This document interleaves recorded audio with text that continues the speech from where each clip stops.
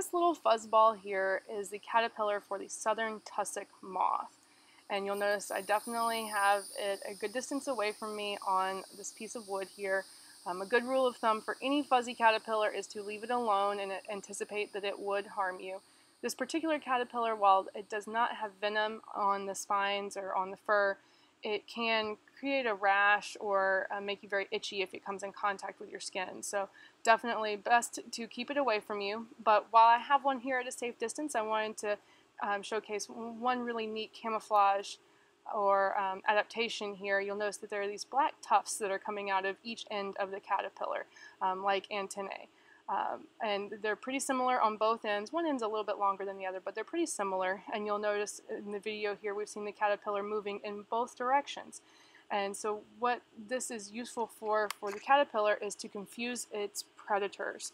Um, because when a predator is approaching it, now it can't figure out which end is the head. And most predators try to target the head of their prey for a quick and easy meal. Um, and so by confusing their predators on which end is their head, uh, gives them a little bit better chance at survival here.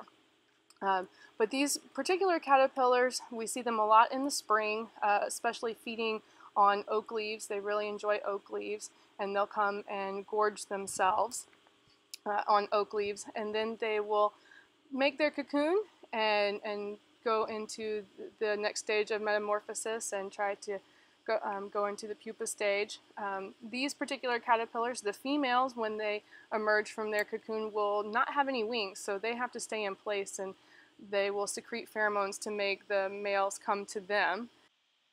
These caterpillars are notorious for making their cocoons on the undersides of picnic tables and other lawn furniture, even stored boats, things that are um, outside in woody areas. And similar to um, touching the caterpillars themselves, their cocoons can also cause um, skin irritation and rashes because they use a lot of the um, spines or the fur from their bodies to help make the cocoons. So if you see the cocoons as well, please take care to remove